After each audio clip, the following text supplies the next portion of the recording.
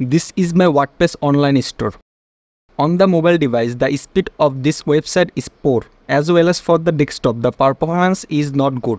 Today I will show you how to speed up WordPress website 2024 and how I did WordPress speed optimization for mobile device from 63 to 99 same as for desktop using a single free plugin. It will take only 2 minutes. So watch till the end and follow all the steps.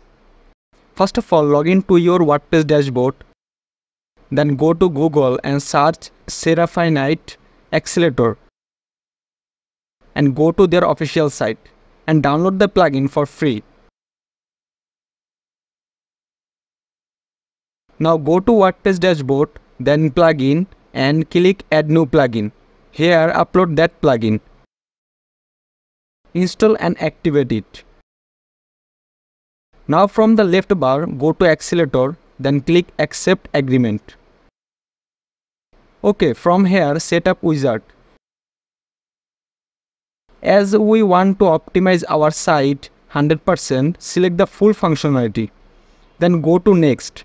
Now click start button for checking your site is capable for optimization or not. Again click next. Keep always a high score. If you don't know about your hosting performance, select the low option. Then go to next and keep it no.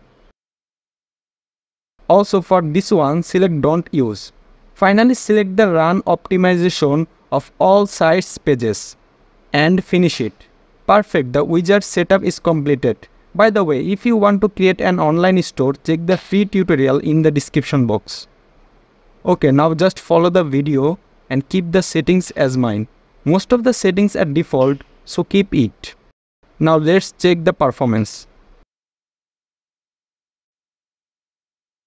Excellent, that's it my friend. In this way, you can do WordPress speed optimization and speed up WordPress website. See you later, take care.